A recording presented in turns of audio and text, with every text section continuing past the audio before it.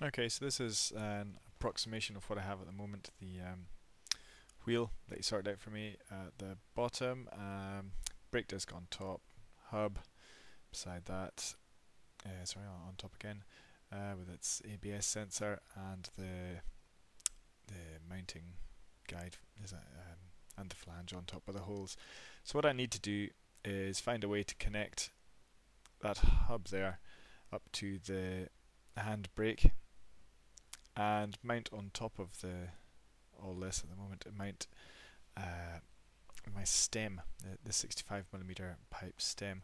So if I just open up a couple other layers I'll show you what I propose to put on there. Um, you might have some advice for something else but all this new uh, pinkish colored material um, I'd basically put bracket similar to the flange shape you know, it doesn't have to have the sort of delta shape there but uh, square whatever offcuts you've got really.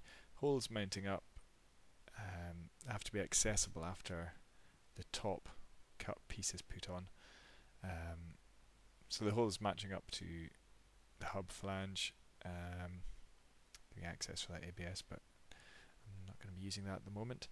Um, building up above that flange I'd want a piece coming back so we could hold the brake in place. A um, couple of holes going through those holes for the, the brake to match that up. So I could take the brake on and off um, in order to get these nuts at the back onto the flange uh, of the, the hub. Um, it looks like it could be accessed with some good wacky spanners but we'll see. Um, on top either just directly fitting um, inside diameter 65 pipe there or if it's easier to put a plate across to keep that strong and that's where the, the stem would go into. So the whole thing is going to look a wee bit like that. It's going to be flying uh, pointing up to this guy something like that in the end.